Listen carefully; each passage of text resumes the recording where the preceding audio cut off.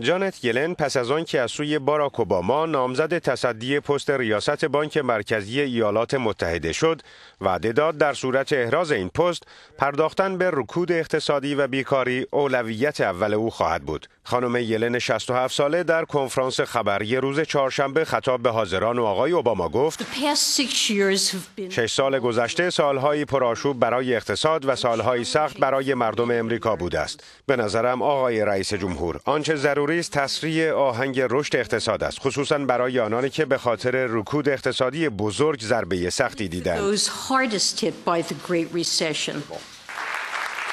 اما استفان اولینر محقق مؤسسه امریکن انترپرایز در خصوص خانم یلن که موافق پایین نگاه داشتن نرخ بهره است می‌گوید فکر می کنم که جمهوری خواهان سنا مدارای و با بحث تورم را به سختی زیر سوال می برند. من این باور عمومی را که او را در مواجهه با تورم منعطف توصیف می کند غلط می دانم. اما انتظارم این است که او در این خصوص پاسخ قانع کننده ای دهد.